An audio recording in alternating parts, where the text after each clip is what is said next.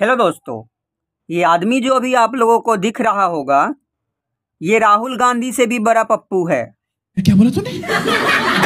इनका नाम है नीतीश कुमार और ये बिहार के मुख्यमंत्री भी हैं। क्या बात है? पिछले पंद्रह बीस सालों से ये बिहार के मुख्यमंत्री हैं लेकिन इन पंद्रह बीस सालों में इन्होंने बिहार का बेड़ा गर्क करके रख दिया है। बात तो सही है। हाल ही में इन्होंने बीजेपी का साथ छोड़ा और लालू के पार्टी के साथ गठबंधन बना के वहाँ भी मुख्यमंत्री बन गए। Not bad, not bad.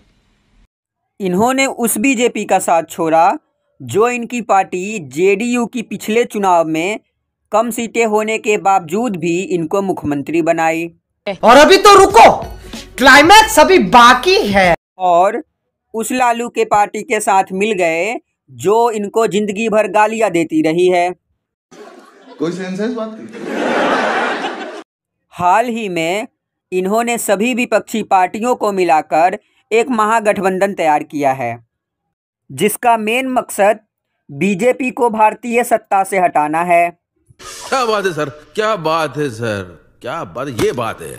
और लोगों की अटेंशन पाने के लिए इसका नाम इंडिया रख दिया गया है।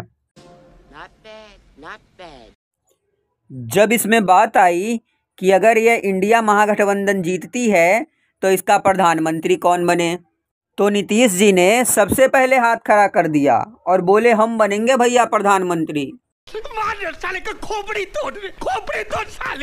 अबे बिहार तो संभाल ले पहले। बात तो सही है। और अभी तो रुको क्लाइमैक्स अभी बाकी है। बिहार तो संभाल नहीं रहा देश संभालने चले हैं।